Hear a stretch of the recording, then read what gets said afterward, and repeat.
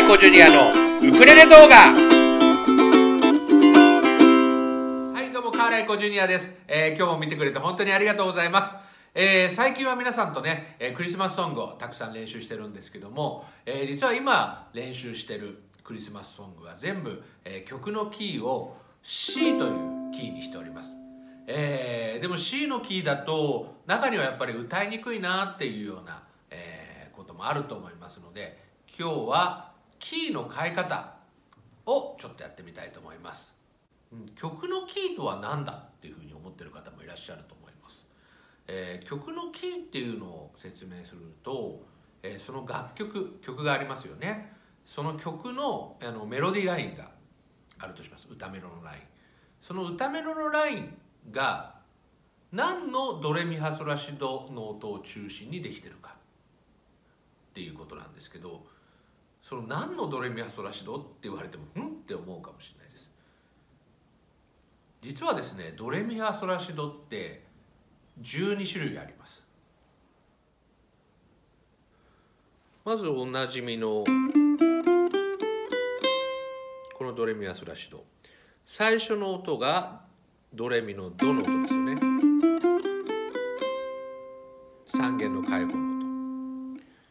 でもこれも多分ドレミファソラシドに聞こえませんか？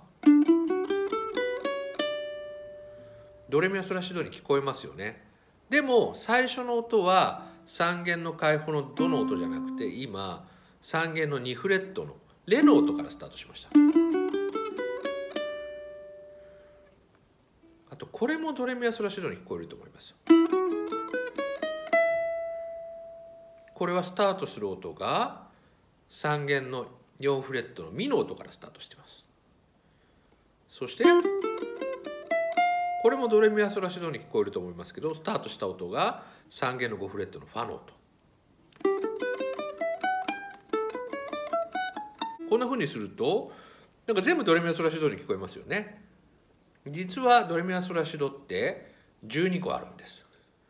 でその曲が今今やった12個のドレミファソラシドのうちの何のドレミファソラシドの音を中心に作られてるかっていうのが曲のキーというものです。また曲のキーは楽譜があれば等音記号や平音記号などの音符記号の横についている調合の数で確認することができます。例えば等音記号の隣に何もシャープやフラットの記号がついてなければキーは C か a マイナーです。等音記号の横のソの位置にシャープが1個ついていればキーは G か e マイナーです。また等音記号の横ファの位置にフラットが1個ついていればキーは F か d マイナーになります。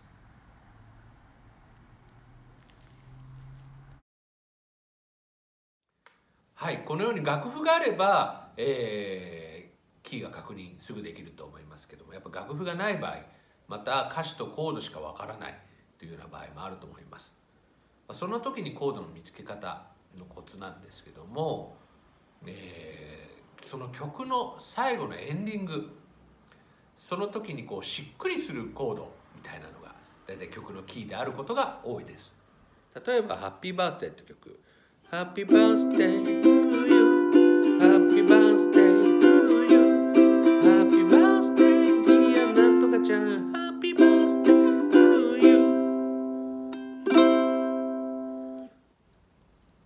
最後 C で終わるとしっくりきますよね。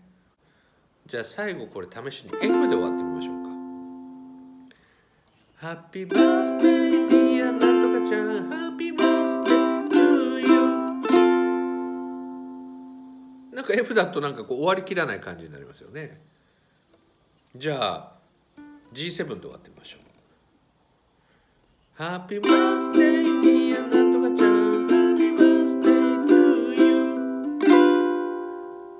これもなんかこうしっくりこないですよね。Happy birthday dear なんとかちゃん Happy birthday to you、うん、C が一番しっくりきますね。はい。じゃあ曲のキーをじゃあそのカラオケのねキーチェンジャーみたいにこう変えることはウクレレの演奏でできないのか。いくつか方法があります。まず一つ目。一つ目は、えー、チューニング自体を、えー、変えちゃうという方法です。例えば本来であれば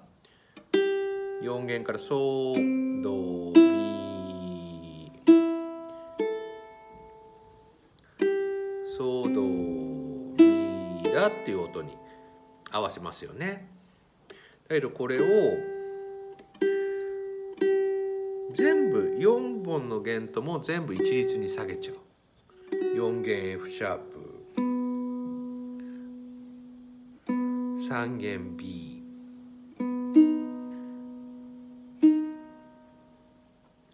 2弦が D フラット。そして1弦が G シャープ。こんなふうに4本全部同じように下げちゃう、まあ、この時のポイントはどれかの弦だけ下げるんじゃなくて4本全部同じように下げるっていうのがポイントです。また上げちゃう場合もあります。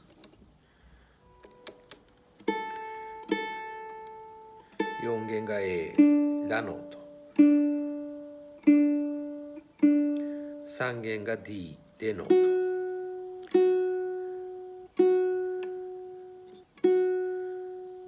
弦が F シャープファのシャープの音。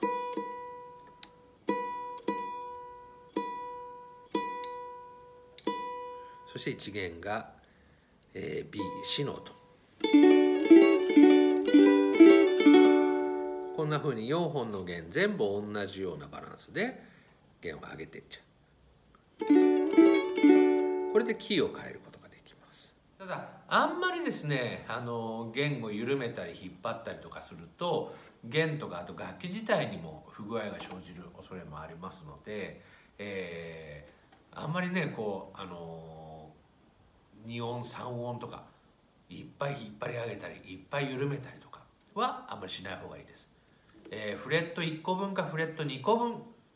上げるか下げるかだったら対応ができると思います。もう一つの方法はこれこのカポを使うというのがもう一つの方法です。カポはこのようにネックに取り付けます。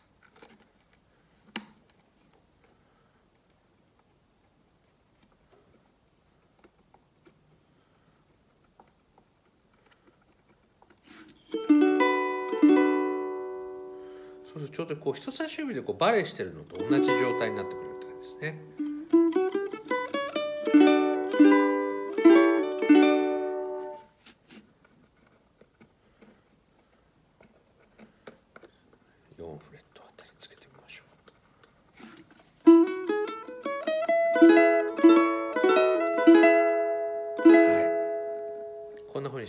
をつけて全体のキーを上げることもできますウ。クレレのチューニング自体を、えー、上げ下げしたりカポをつけたりして、えー、キーを変える方法はこのコードのフォーム C とか F とか G7 とか、えー、そのフォームをそのままの形でキーがチェンジしてできるのでとても便利だと思いますだけどもデメリットもあります例えば男性が歌ってる曲を女性が歌ったり女性が歌ってる曲を男性が歌ったりとかする場合でかなりもうあのキーが離れてる場合。カポとかでハイフレットにカポをつけたりとかする場合だと逆に演奏しづらくなっちゃったりとかする場合もあります。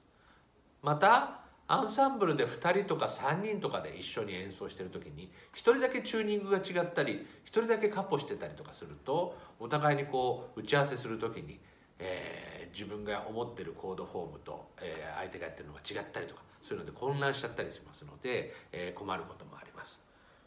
あまりこう元の曲とキーがかけ離れてる場合はやはり、えー、コードフォーム自体を変えてるような、えー、形の方がいいと思います例えば C だったら、えー、キーが C の曲だったらキーを F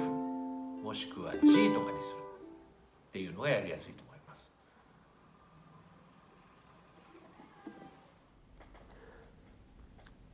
この表は曲のキーを変える時の目安になる早見表になります。曲のキーを C から F に変えたりまた F から A に変えたり G から C に変えたりそんな時に役立つと思います。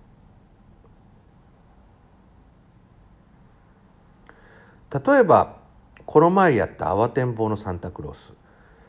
元の曲のキーが C でとても歌いにくかったのでキーを G に変更したいと思うんですけどもその際は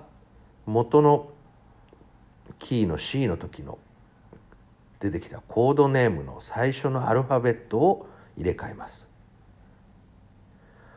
例えば C コードだったら G コードに変わる。C7 コードだったら G7 コードに変わるというような形です。d マイナーコードだったら a マイナーコード。F シャープディミニッシュであれば C シャープディミニッシュ。コードネームの最初のアルファベットだけ変更すればうまくいきます。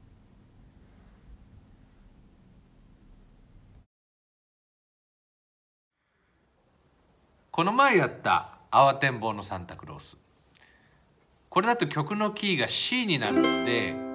歌い出しが「慌てんぼうのサンタクロース」ちょっと僕の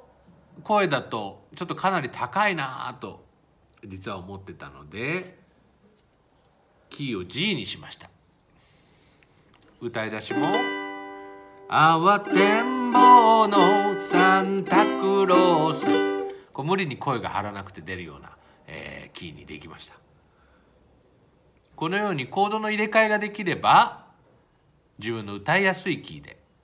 演奏することができるようになると思います。はいいかがだったでしょうか、えー、たくさんのコードフォームを覚えて、えー、いろんなキーで曲が演奏できるようになるのもいい練習になると思いますので、えー、ぜひやってみてください。最後に、えー、もう一度、えー、キー CFGA え、それぞれにコードをチェンジをする早見表を、え、もう一回、え、流しますのでぜひスクリーンショットとかで、え、チェックして、え、残しておいてください。それではまた!